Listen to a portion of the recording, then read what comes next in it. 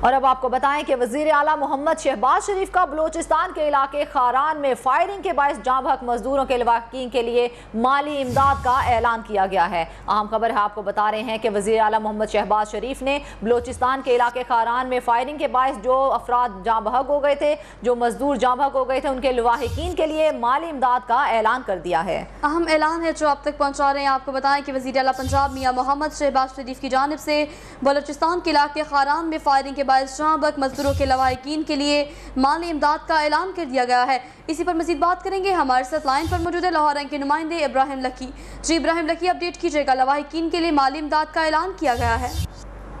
جی دو روز قبل بلوچستان کے علاقے خران میں فارغ سے جہاں بات ہونے والے ضلع اوکارا کے چھ مزدوروں کو مالی امداد کا اعلان کیا گیا ہے۔ پنجاب کی طرف سے ان چھ افراد جو ہیں، جن کو امداد کا اعلان کیا گیا ہے، ان میں مظہر فرید محمد وقاص، محمد شہزاد، فخر رفیق، امانت علی، محمد جوید اور ایک زخمی فریاد حسین شامل ہیں جس کو دس دس لاکھ روپے کا جو ہے وہ مالی امداد کا پیکج کا اعلان کیا ہے۔ وزیر پنجاب نے اس حوالے سے جو ہے نا نظرائے نے بتایا کہ آئندہ چند روز میں جو ہے نا، ان لواقین میں جو ہے نا امدادی امداد کے چیک جو ہے وہ تقسیم کر دیے جائیں گے۔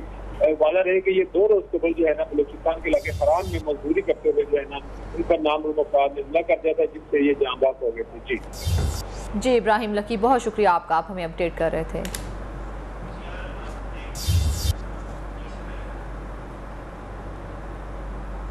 عام خبر تھی جو آپ تک پہنچا رہے تھے، آپ کو ایک بار پھر سے اپڈیٹ کریں کہ وزیر اعلیٰ پنجاب میاں محمد شہباز شریف نے بلوچستان کے علاقے خاران میں فائرنگ کے باعث شام بک مزدوروں کے لواحقین کے لیے اب مالی امداد کا اعلان کر دیا ہے۔